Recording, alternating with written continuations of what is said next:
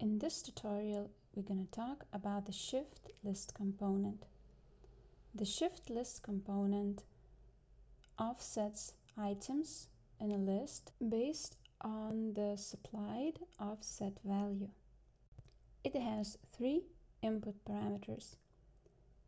List to shift, numerical offset value, and wrap option similar to the previous components that we discussed. So let's connect the char sequence uh, output to the list input.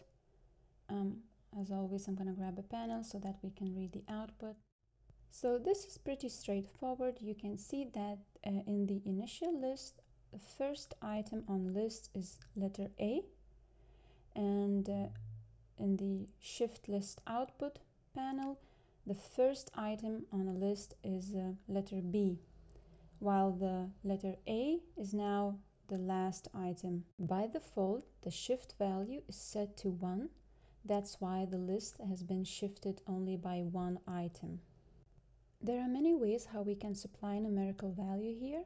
Now we're going to right click on the input, choose set integer, type in number 2 and click commit changes. So now the output list starts with letter C and if we look at, uh, into the initial list, it's two items shifted forward. Let's make the shift offset value visible on canvas for clarity reasons.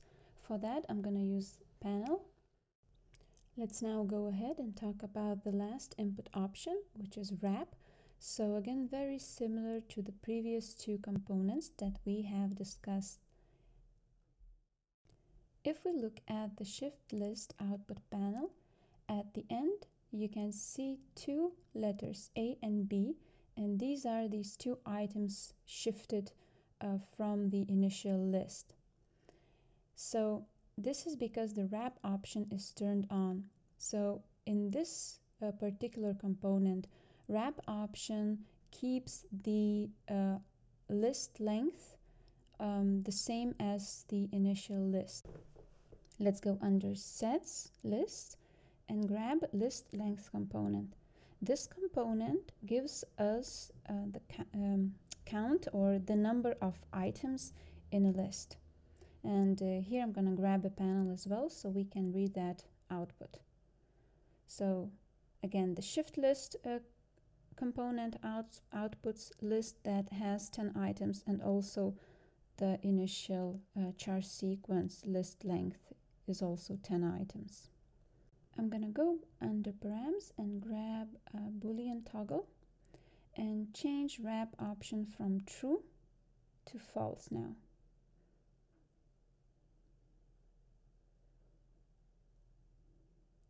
And you can see the difference. So if we shift uh, list by two items and the wrap option is turned off or set to false, then we reduce the number of items in the output list.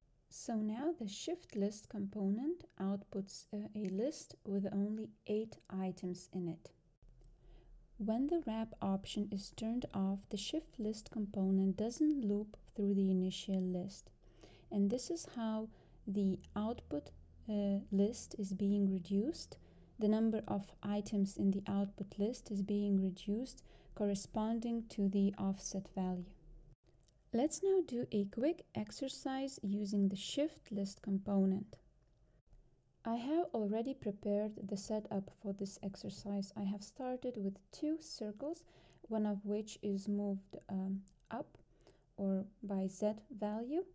Uh, both of these circles have uh, adjustable radius sizes and uh, of course for the second one I can also change the magnitude for z vector as well. Then I'm dividing these circles um, in the by the same amount of points that's why I'm using only one slider and then I'm also using display points to preview the order in which these points are stored within their lists. I'm turning off the preview of these two divide curve components so that we only see the indices of these points. Let's now create lines connecting points in both of these circles or both of these lists. Let's go under curve, primitive, and choose line component. And then let's input the divide curve component outputs to the A and B inputs. These lines are created by connecting points with the same indices in both lists. So 0 with a 0, 1 with 1, 2 with 2, and so on. But what if we want to connect 0 with 1, 1 with 2, 2 with 3? Well, then we could use the shift list component. Let's have a look uh, how it could work here. So let's go grab the shift list component under sets and then let's pick a list, one of the lists. I'm going to choose the second one